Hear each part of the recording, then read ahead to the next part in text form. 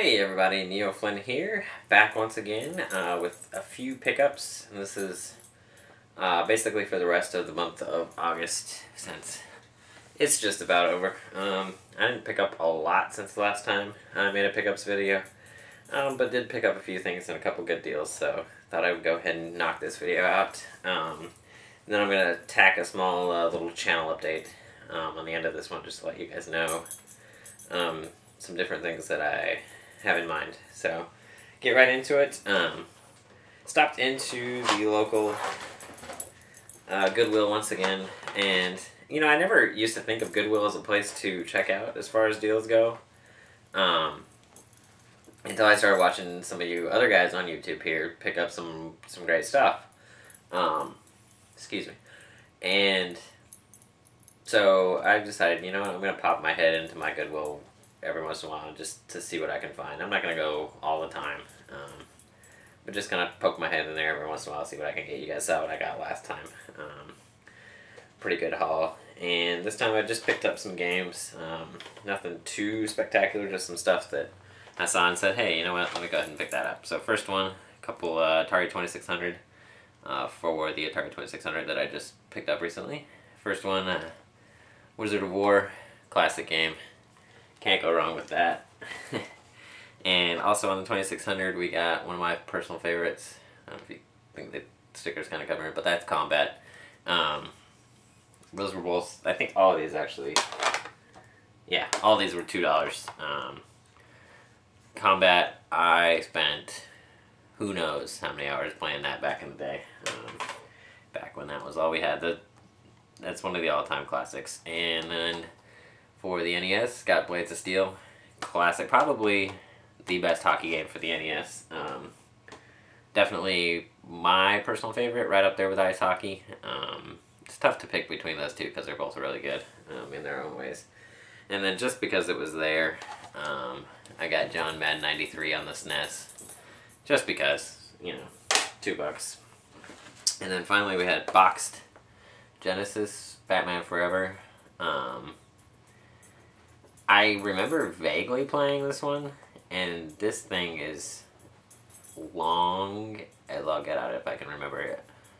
Um, but yeah, I just really like the side-scrolling beat 'em ups, um, especially back in the Genesis days. It was actually boxed and complete, so that was the other reason I picked it up. Just to add another boxed and complete Genesis game to my collection. I didn't have that. Actually, all of those. Combat, I may have. Um, I've got a box of Atari 2600 games stowed away somewhere that I actually need to go find and see what's in there. In fact, both of those I may have, and if I do, I'll make a video and put them up for trade, or if somebody wants them, I'll, you know, we'll work something out. Um, then a couple retail pickups, um, one from Walmart, one from Target. Um, got Samba de Amigo on the Wii. Um, I actually had a friend who had the original Samba de Amigo on Dreamcast with the whole Maraca setup. Um, this is back when I worked at GameStop, and he actually, excuse me, throat's kind of scratching. Let me grab a drink real quick. Um, he actually brought it to, uh, we had a store party one time and he brought it, set that whole thing up, and it was actually really a blast to play. Um, and I had been meaning to pick up the, the Wii version um, for a while, and so saw that at Walmart for 8 bucks, so I went ahead and snagged it. Haven't even opened it yet. Uh, this one I just picked up the other day. Um, from Target clearance end cap for 13 bucks, and that's Fairy Tale Fights. I've heard mixed things about it, but the one thing I do know is that this has an obscene amount of gore and blood in it, so I thought it'd be cool just to check out to see how bad it really is. Um, and then one final retail pickup, I actually just got this on Monday, um, and that is DJ Hero for the 360. Um, I got this at Best Buy for $39.99. Um, which if you guys remember when that first came out, it was a hundred bucks. So I thought that was a pretty good deal. I played it a little bit. Um, I'm not great at it, but I don't suck horribly like I thought I would. Um, it's definitely a different mechanic than, you know, playing the guitar or something. It's something that you're not used to doing with your hands, um, so it takes a little getting used to using the crossfader and stuff. Um, but it's definitely a lot of fun, and I'm having fun, and the music in it is awesome.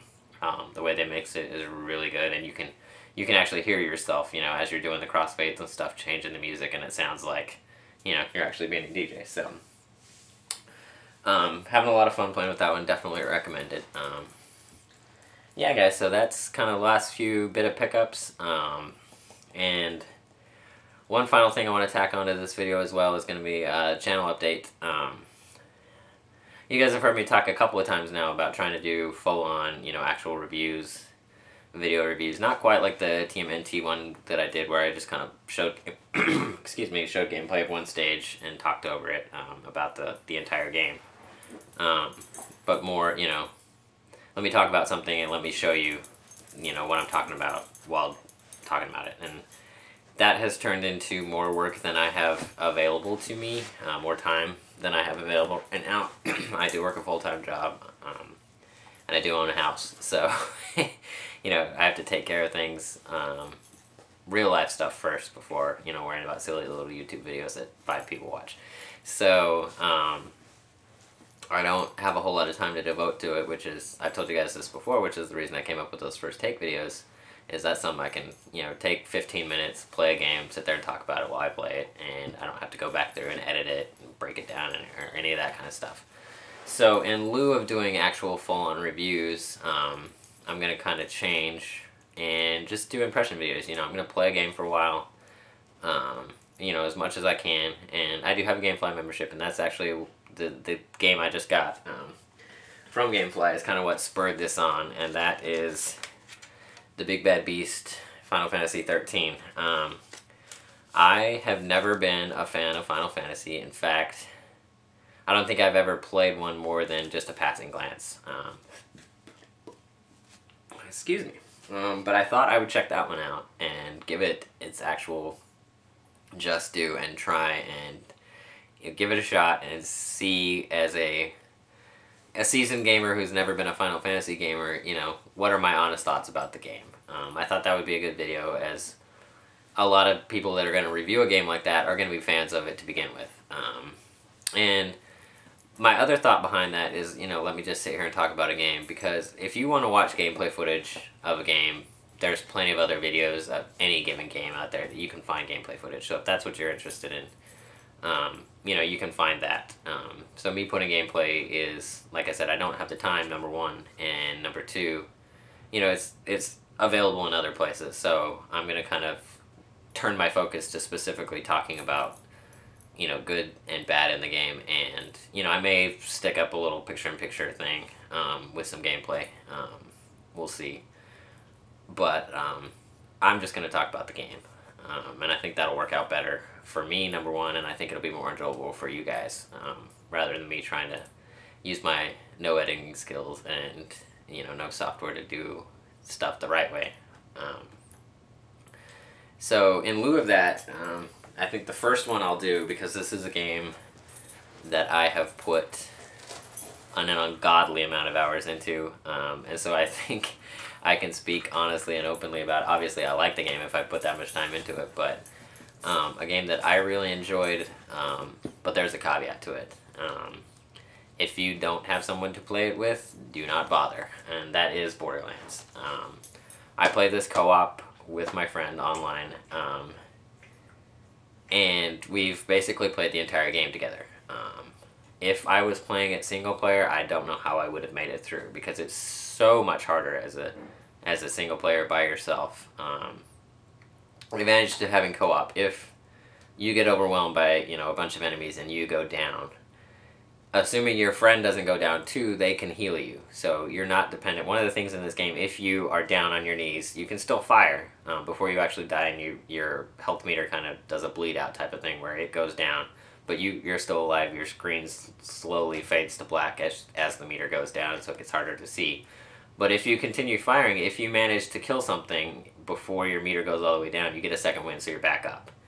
Now, single player, that's your only saving grace if you can get that second wind. Um, when you're playing it co-op with at least you know at least one other person, they can run over if you know and hit a button and revive you. It takes some time and they can't shoot while they're doing that, but you still can, um, and they can save you. I can't tell you how many times my friend and I have been in a situation where one of us goes down, and if we were playing single player, we would be toast. Um, but since there's two of us, you know, the other one can run over and save him. So, like I said, I don't know how I would have ever gotten through the game without playing it co-op. not to mention, it's just more fun um, to play a game like this co-op. It is. If you guys don't know about Borderlands, I'm sure everybody's heard about it, but it is a a first-person RPG um, kind of dungeon crawler, kind of like Diablo. It's a loot. It's a loot quest. Um, there is a main storyline, um, but pretty much you're running around looking for the best guns you can find to annihilate everything else with. And like I said, my friend and I have put countless hours into it. We're actually playing uh, the the one expansion pack that we hadn't played through. We're playing through right now, and that's the um, Mad Moxxi's Underdome.